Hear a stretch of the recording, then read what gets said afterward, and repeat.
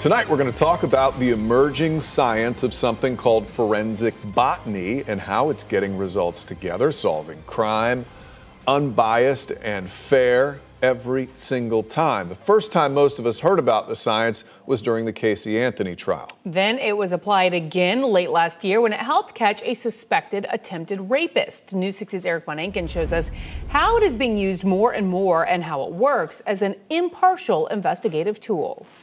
This is the case of the state of Florida versus Casey Marie Anthony. In 2011, Casey Anthony went to trial for murdering her daughter Kaylee. Anthony's attorneys called to the stand expert after expert, including a forensic botanist who testified little Kaylee's remains could have been in the woods for only weeks, not months, as prosecutors alleged, based on the plant life growing on and around the remains. Anthony was, you remember, ultimately found not guilty of murder, but it was really the first time in Florida that the science of forensic botany was spotlighted. What is a forensic botanist? Forensic botany is the application of uh, plant evidence to uh, um, legal matters. Dr. Christopher Hardy is one of the country's leading forensic botanists and a professor at Millersville University in Pennsylvania. Not many people can lie about plant evidence.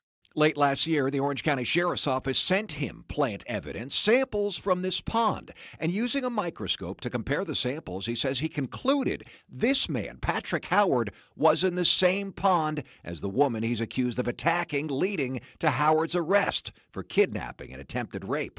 He passes me maybe two feet, he flips around, and he starts to choke me. There's no doubt that this is the same species on all the pieces of evidence. Here it is in the pond water in the upper left, the victim's shirt, the victim's pants. And forensic botany can tell if a body that was dumped had been poisoned, because that poison will eke into the surrounding plants. And researchers are investigating if forensic botany can make it easier to find a body in the woods by looking for treetops that are different because of the nutrients going into the soil from the decomposing body. All I'm interested in is looking at the evidence when they give it to me. And if it's inconclusive, then that's my report.